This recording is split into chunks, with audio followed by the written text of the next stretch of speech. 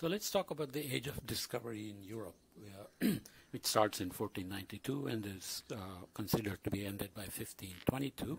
So we know that uh, Christopher Columbus was uh, funded by the Spanish uh, monarchs uh, to go west, but this was motivated by the fact that by early 15th century, the Byzantine Empire had become uh, almost small around Constantinople and surrounded by Ottomans.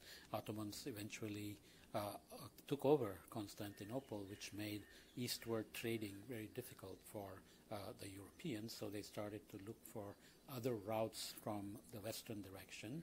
And the uh, voyages of Christopher Columbus to the Americas is obviously already well known. We mentioned it uh, in the context of how Vikings were there before. There are some claims that the Chinese were also there before, but nonetheless, uh, Christopher Columbus mistakenly assumed that he had reached India because of this error made in the calculation of the, the circumference of the Earth during uh, Ptolemy's time.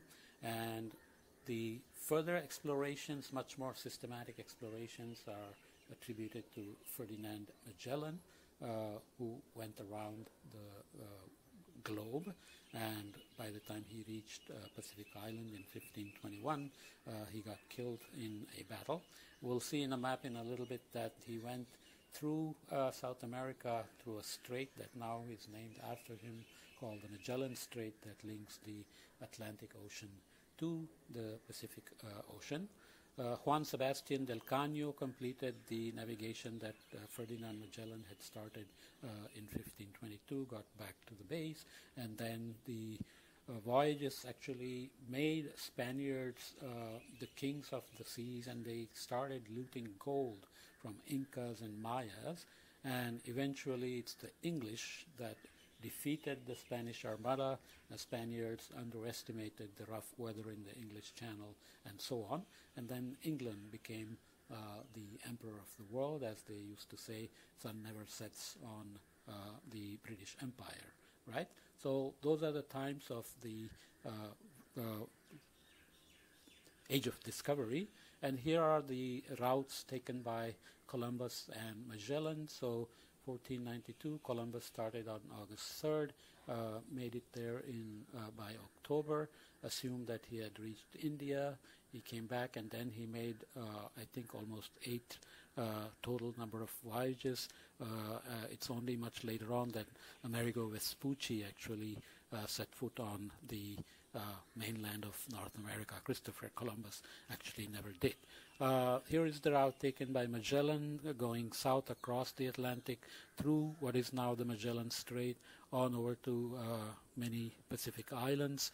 Uh, Magellan got killed somewhere here around uh, the Philippines and then the voyage was continued by Del Cano and returned to uh, Europe in 1522. Uh, September 1522. So that's a two-year uh, voyage that was completed. And then the voyages became much more of scientific expedition because the English wanted to retain their maritime uh, superiority. So Captain James Cook uh, during the 18th century undertook three scientific voyages, uh, huge labs in the basements of the uh, ships lots of scientists on board, lots of instruments, a lot of water samples collected. So HMS Endeavour uh, Resolution and Adventure mapped many islands uh, of the Pacific. They systematically measured ocean characteristics. They lowered ropes and took bathymetry and collected uh, water samples, looked at biology, uh, recorded lots of interesting uh, life forms, uh, autotrophs, heterotrophs, and so on. And they also uh, uh, were benefiting from the so-called marine chronograph, uh, which I mentioned briefly before. So if you if you're going north-south, you can easily use the polar star as a reference to figure out latitude.